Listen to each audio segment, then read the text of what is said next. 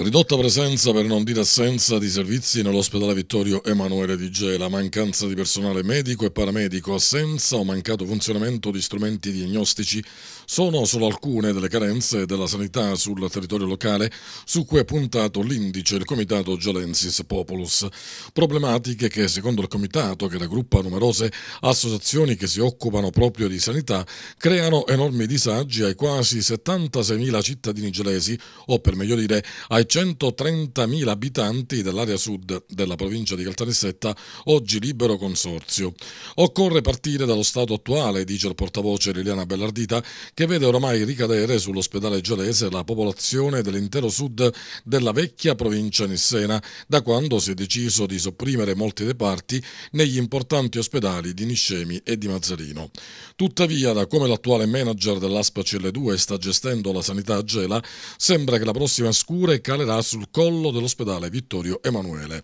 La carente offerta sanitaria ospedaliera che soffre dell'assenza e o mancato funzionamento di strumenti diagnostici, delle lunghe liste d'attesa, della mancanza di personale medico e paramedico adeguato in termini numerici presente su Gela, spinge ad una immorale migrazione dei pazienti gelesi, sostiene ancora Bellardita, verso altre strutture sanitarie del distretto, benché vada, o del fuori distretto. Il riferimento riferimento è a tutti quei cittadini che quotidianamente sono costretti ad affrontare estenuanti viaggi verso Caltanissetta, San Cataldo, Caltagirone o Vittoria. Migrazione che fa dei cittadini gelesi, continua la nota, una sorta di merce umana da dividere tra gli ospedali della Sicilia centro-meridionale. La sanità gelese non pretende nulla in più rispetto agli altri territori, vuole solo la normalità, nonostante il riconoscimento nazionale di Gela come sito ad alto rischio rischio ambientale.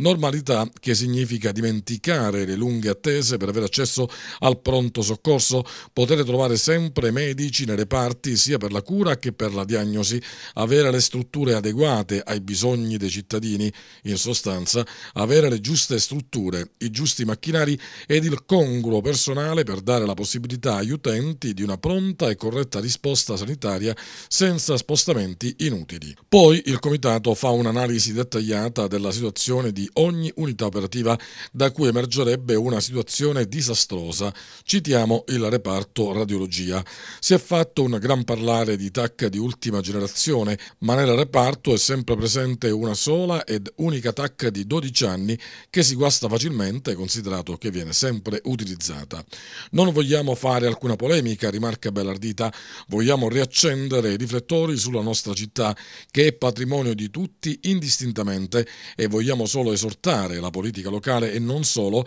a prendere provvedimenti immediati per l'ospedale di Gela affinché gelesi possano raggiungere quantomeno la normalità in ambito sanitario.